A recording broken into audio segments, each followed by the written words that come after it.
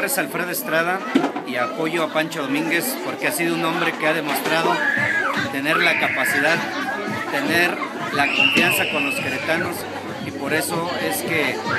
nos impulsa a apoyar a Pancho, porque ha hecho por mucho por la gente del campo.